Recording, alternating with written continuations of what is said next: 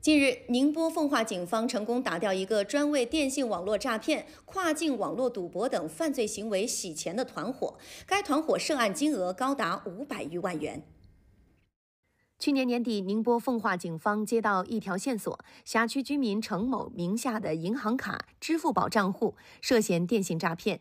接到线索后，警方对程某进行了调查研判，发现程某是个无业人员，长期居住在陕西西安，但经常通过在微信兼职群内发布虚假兼职广告，招募洗钱人员，并使用银行卡、支付宝等工具为境外诈骗等团伙提供洗钱服务。陈某在网上。呃，以借用银行卡、支付宝的形式发招聘公告，招募兼职人员，然后把呃兼职人员组织到酒店中。每当有上游诈骗资金打到兼职人员的银行卡中，陈某便会呃操作兼职人员的手机，啊，把这个上游犯罪资金呃转移出去。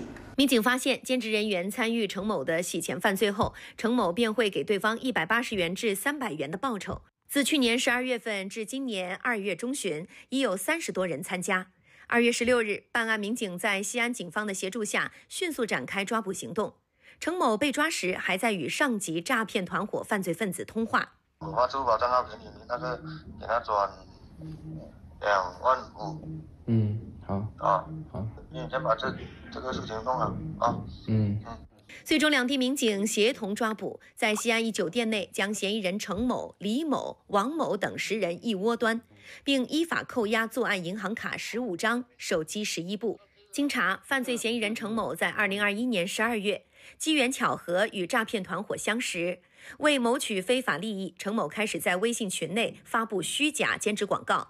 从十二月份至今，程某洗钱的犯罪金额高达五百余万，非法所得五万多元。去给他取钱，去参与洗钱，你拿了多少好处费？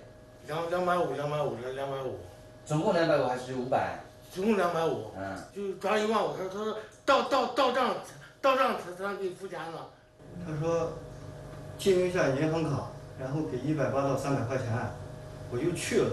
去了，当时他问他，他他说的是刷单，转了一笔，好像是三万。